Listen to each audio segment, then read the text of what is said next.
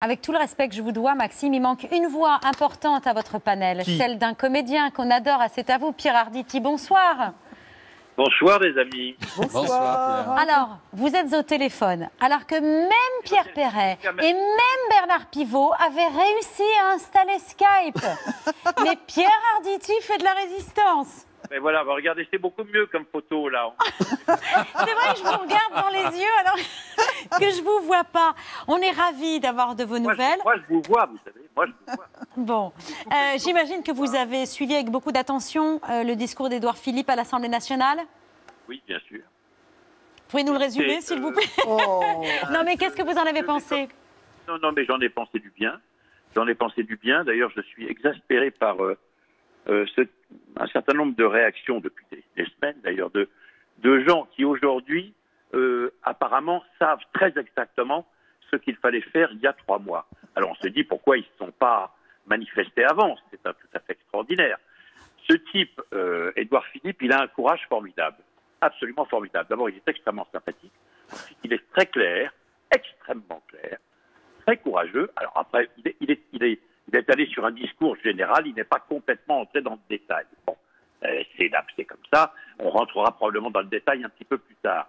Après, j'ai évidemment entendu un petit peu, pas beaucoup, je me suis lassé très vite, des réactions d'un certain nombre de députés euh, à l'Assemblée nationale qui ont euh, remis au goût du jour un certain nombre de Vienne Lune. Euh, il y a eu une entente générale par rapport à la gravité de la situation face de laquelle nous nous trouvons. Mais maintenant, on est en train de commencer à sortir les fléchettes, les couteaux, les coups de, couteau dans le dos. Et c'est très exaspérant.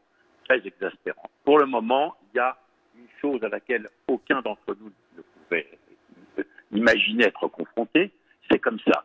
Bon, donc la seule chose à faire pour le moment, c'est de se mettre d'accord, qu'on le veuille ou non, avec ce qu'on propose, c'est ce qu'on peut faire au jour d'aujourd'hui. Comme vous le savez, moi, je suis je regarde souvent les- les chaînes euh, d'infos en continu. J'ai tort d'ailleurs, je vais les regarder un peu moins parce que ça devient très intoxicant, très, très angoissant. Et puis, euh, euh, je veux dire qu'on entend tout et son contraire. Donc, à part quelques, quelques analystes politiques ou quelques. euh, eux, Bachelot en fait Bon. partie. Il y a Roselyne Bachelot que j'embrasse très affectueusement. Parce que Merci Pierre. Je vous embrasse aussi. Bon, Pierre, D'ailleurs, vous, je- vous allez vous déconfiner le 11 mai? Comment? Vous allez vous déconfiner le 11 mai Parce que je sais que pour l'instant, votre épouse Evelyne Bouygues vous empêche de mettre le nez dehors, mais le 11 mai, vous vous déconfinerez. Bah, je vais me déconfiner raisonnablement. Je vais continuer évidemment de mettre le masque. Je vais me laver les mains. Je ne vais pas faire de distanciation brechtienne, mais je vais faire une distanciation sociale, c'est comme ça qu'il s'appelle maintenant. Bon, bien sûr, je vais faire attention. On m'a fait savoir très aimablement que j'étais un homme, une personne âgée. Voilà. Alors, veut, en, en d'autres termes moins aimables, dire que je suis vieux. Bon, alors, je suis peut-être vieux, mais euh, je veux simplement rappeler que ma mémoire, par exemple, est probablement quatre ou cinq fois supérieure de celle de la majorité de mes congénères, que je sais encore faire un certain nombre de choses, que sexuellement ça ne va pas si mal, je suis pas malade, que pour le moment la vie continue. Alors là, j'imaginais vous trouver en forme, Pierre, mais à ce comme un vieillard, hein, mais enfin on n'aura pas ma peau comme ça. on n'aura pas votre peau comme ça, et on ne veut surtout pas avoir votre peau. On a hâte de vous retrouver, Pierre.